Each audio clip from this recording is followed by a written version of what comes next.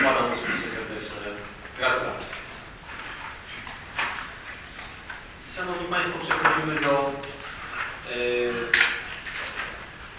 kolejnego punktu dzisiejszego porządku yy, obrad. To jest sprawozdanie z działalności Komisji Zieleni Ochrony Środowiska. Pana Przewodniczącego proszę o przedstawienie yy, sprawozdania. Dziękuję. Komisja spotkała się 15 stycznia o godzinie 17 w tym sprawie. To przyjętego rozmowa. Do między innymi dwa pisma Wydziału Skarbu. Pierwsze dotyczy przekazania aktami notarialnymi nieruchomości pod przypadek Warskiego gminy Sierownia 2015 roku. Drugie dotyczy postępowania w sprawie przekazania nieruchomości gminy miejskiej Kraków Sądowskiego Dziennika 51, czyli z budynków podwórskich. Należy dodać, że termin opuszczenia przez dotychczasowego pracownika w trakcie notarialnym będzie określony na dzień 20 zawarcia umowy. Teraz oczywiście są tam przyjęte do wiadomości. Jest również pismo mieszkańca w sprawie niewłaściwego nasadzenia drzew wokół kapliczki przy ulicy Markowskiej 24. Po otrzymaniu informacji z HIT-u chodzi o jedną sadzonkę, która jest osadzona na będzie oczywiście ta sadzonka przeniesiona z miejsca. Także temat może być zaraz Y, oczywiście po się pisma. Również komisja się pochyliła nad regulaminem w sprawie konkursu partyjnego ogroda. Na razie jest to wersja roboczna. Myślę, że do końca stycznia będzie już wysłany stan więc do po prostu po akceptacji. Później spotkanie z panem dyrektor Myszowską i również spotkanie z panem prezesem z udziałem programowy, który proponuje datę, datę festyn, który odbędzie się pod nazwą Jesień chcemy po prostu na tym festynie Narody wręczyć. Również pismo, pisma do sponsorów. Na razie mamy 8, 8 sponsorów w ceremonii 11. Czyli, że oczywiście no, musimy dowiedzieć, czy, czy akceptują taką monumenty nagród Rzeszowy, czy nie. To w sumie było tyle komisja kończyła tego godziny 16. Czy macie Państwo jakieś e, pytania związane z działalnością Komisji Zieleni? Pan Przewodniczący Sadecki. Ja mam takie pytanie no, do Pana Przewodniczącego i także do Pana Przewodniczącego, bo przecież yy, wiadomo jest, yy, że wtedy, kiedy była, były no, wręczane nagrody w dziedzinie kultury, były również nagradzane prace, jak rozumiem, jestem laikiem oczywiście, ale jak rozumiem, z koncepcjami zagospodarowania Dukackiego. I y, z tego co widziałem, jak wyglądały te koncepcje, no to były bardzo fachowe, były przygotowane przez, y, przez kadrę y, i przez studentów w ramach praktyk studenckich. Ci studenci poświęcili na to kilka tygodni pracy. Teraz jak słyszę, ma być przekazane 60 tysięcy na koncepcję. Czy to znaczy, że te koncepcje będą dopracowywane, czy jedna z nich będzie dopracowana, czy też jakby w to nie istniało, czy też nie można byłoby się jeszcze raz zastanowić, czy ta koncepcja, która wygrała, albo jakoś kompilacja tych koncepcji nie mogłaby być jakby złożona w ten sposób, żeby nie wydawać e, bytów nie mnożyć, fikcji nie tworzyć, e, nie, nie wydawać 60 tysięcy na coś, co już jest zrobione. No to tyle. Powiem tak, może oczywiście była ustawa, był konkurs projektu pod przypadek Błaski. Jest kilka po prostu wyrządzonych prac, no i tak pani film tam jest nie, to jest ja rozumiem, że te 60 tysięcy idzie na koncepcję rozpoczną. Panie, panie Przewodniczący Starost, znaczy Pan jest już radnym drugą kadencję i Pan interesuje Pan sprawę, jakie są procedury i jak, e, jak, zależy, jak są uchwalane i realizowane zadania e, jednostki pomocnicze miasta Krakowa i dzielnicy. My nie możemy tutaj przeprowadzić jakiegoś przetargu, czy też e, wyłonić koncepcję zagospodarowania parku Lukackiego przygotowaną przez studentów. Dobre koncepcje przygotowali, dużo pracy podłożyli. Ja się zgadzam. Natomiast my możemy zrealizować to zadanie poprzez jednostkę miejską, która się nazywa Zarząd Infrastruktury Komunalnej i Transportu. Nie ma innej e, możliwości. A tam obowiązują pewne procedury, e, ustawa o zamówieniach publicznych itd. Tak itd. Tak Już Pan Radny myślę doskonale sobie tego e, zdaje sprawę.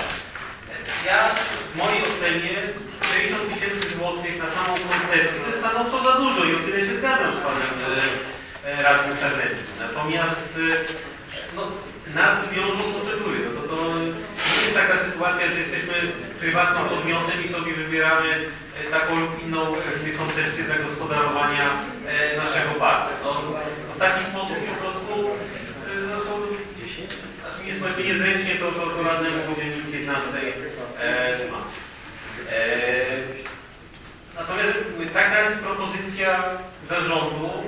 Ja chciałbym, żeby nad tym oczywiście pochyliła się Komisja Zieleni i Ochrony Środowiska i tak jak e, mówiłem, to powtórzę. Uważam, że w tej kadencji e, nie powinniśmy, a nawet nie możemy, bo tak naprawdę nie mamy tych środków, aby wydać na park kucharski więcej niż 60 tysięcy złotych. No, y, cała inwestycja związana z, z, tak naprawdę z odtworzeniem tego parku to jest, inwestycją miejską. Dzielnica i miasta nie jest w stanie tego e, sfinansować, bo to przekracza nasze możliwości. Natomiast, tak jak już dzisiaj wspomniałem, ze względu na to, że e, dzielnica była tym inicjatorem i e, wnioskowaliśmy o wykup tych e, nie- nieruchomości, no gdyby e, nie możemy teraz e, odsuwać od siebie tego, tego pewnego zobowiązania i powinniśmy w tej idei partycypować.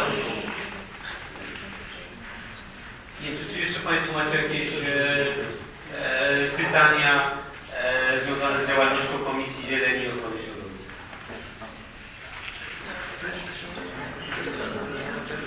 Rozumiem, że nie ma. Tym przechodzimy do podpunktu A, to jest projekt uchwały w sprawie planu pracy Komisji Zieleni i Ochrony Środowiska w 2013 roku, druk numer 10, 10 Proszę e, Pana Przewodniczącego o przedstawienie Później Pan pracy Komisji Zieleni Środowiska szacunek, jak to się sprawy. Uzasadnienie oczywiście zgodnie z A każdy odcinek ustęp drugiego regulaminu dzisiaj masy podróży karskiej komisja przykłada dalej projekt uchwały w sprawie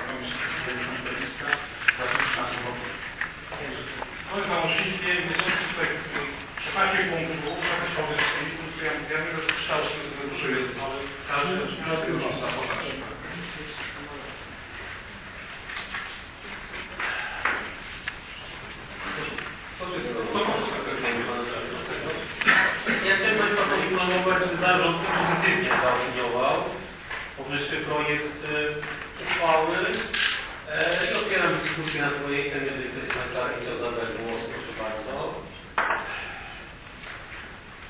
Rozumiem, że nie ma żadnych dyskusji. E, W związku z tym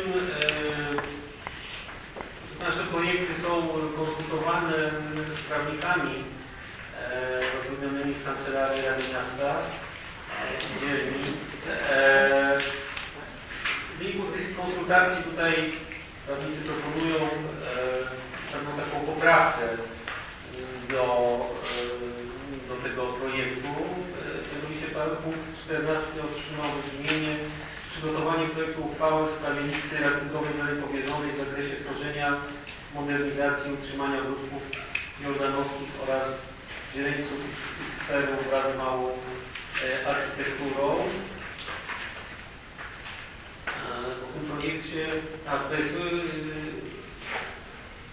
ustalenie listy rankingowej. No, faktycznie tak jest, że listę rankingową w uchwały, formie uchwały e, no, ustala Rada Dzielnicy, a nie, a nie Komisja. Także w miarę stosowna tutaj uwaga ze strony prawników i, i w takim brzmieniu poprawkę zgłaszam do tego e, projektu uchwały.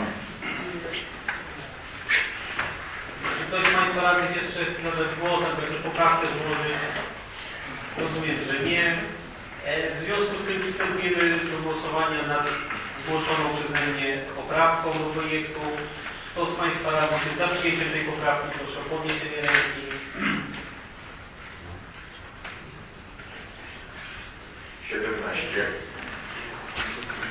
Kto jest przeciw? Kto się wstrzymał? Widzę, że ta poprawka została przyjęta. E, Przechodzimy do głosowania nad e, całym projektem e, w sprawie planu Komisji Zieleni Ochrony Środowiska w 2013 roku, w roku nr 1013 wraz z przyjętą poprawką. Kto z Państwa radnych jest za podjęciem uchwały w tej sprawie? Proszę o podniesienie.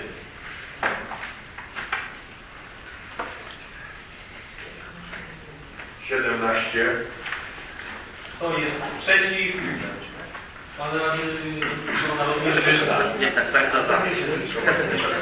Kto się, kto się wstrzymał? Widzę.